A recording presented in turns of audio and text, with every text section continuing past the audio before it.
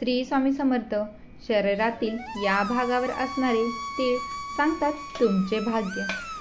एक कपाळ. जर तुमच्या कपाळावरती तीळ असेल तर याचा अर्थ तुम्ही आत्मविश्वासी आहात. हे एखाद्या व्यक्तीवरील आत्मविश्वासाचे सूचक आहे. त्यामुळे अशा व्यक्तीला प्रत्येक कामामध्ये यश मिळते. तसेच ती व्यक्ती आयुष्यामध्ये एखाद्या मोठ्या उंचीवरती यश प्राप्त करेल असे सूचित होते. तसेच एखाद्या स्त्रीच्या डोक्यावरती तीळ असेल तर ती भाग्यवान असते आणि प्रवासाच्या संधी देखील दर्शवते. दोन भुवया. ज्या स्त्रियांच्या भुवयावरती तीळ असते त्या स्त्रिया खूप भाग्यशाली असतात. त्यांना संपत्ती प्रचंड धनलाभ होतो असे सूचित होतं. अशा स्त्रियांमध्ये निर्णय घेण्याची योग्य क्षमता असते.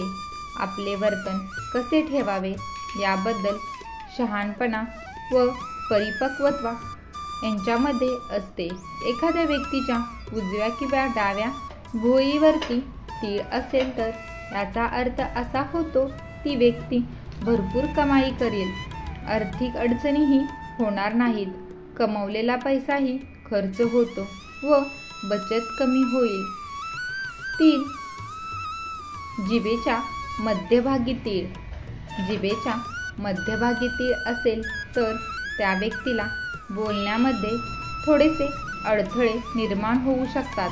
पण अशा व्यक्ती कोणालाही गोड बोलून जवळ करू शकतात. चार. कानावर तीळ. ज्या व्यक्तींच्या कानावरती तीळ असेल तिला ऐश्वर संपत्ती आयुष्याचे लक्षण मानले जाते. अशा व्यक्ती खर्च करण्यासाठी मागे पुढे बघत नाहीत. कानामागे तीळ असणाऱ्या व्यक्ती परंपरावादी असतात. पाच. डोक्यावरती तीळ. डोक्यावरती तीळ असेल तर केस संपूर्ण कापल्यानंतर दिसू शकते आणि जर टाळूवर तीळ असेल तर ती व्यक्ती राजकीय क्षेत्रात चांगली प्रगती करते. अशा व्यक्तींच्या नशिबात राजयोग असतो. सहा. डोळ्यातील तीळ.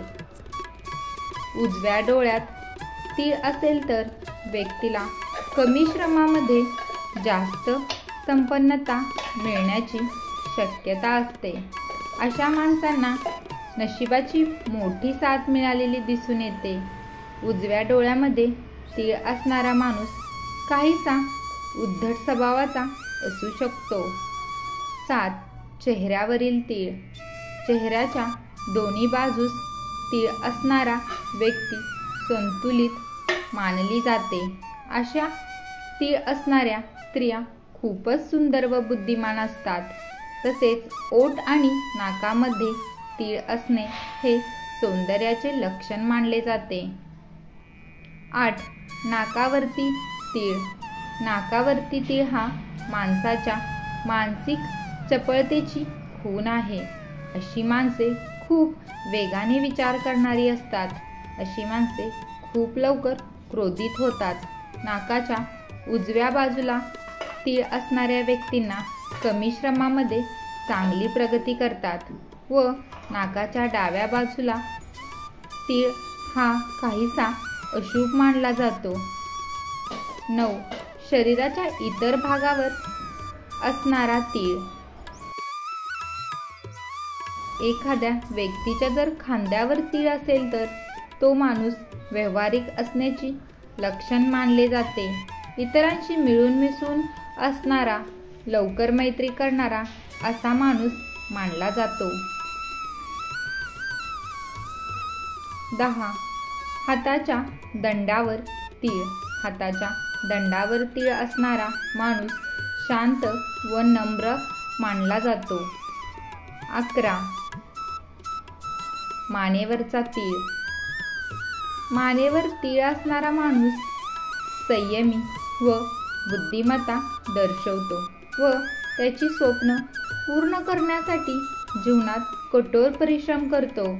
योग्य मार्ग निवडला आणि योग्य निर्णय घेतला तर स्त्री भटकल्या नाहीत तर त्यांच्या आयुष्यात चांगल्या उंचीवर जातील असे मानले जाते. श्री स्वामी समर्थ. व्हिडिओ आवडला असेल तर नक्की चॅनलला लाईक शेअर सबस्क्राईब करा. धन्यवाद.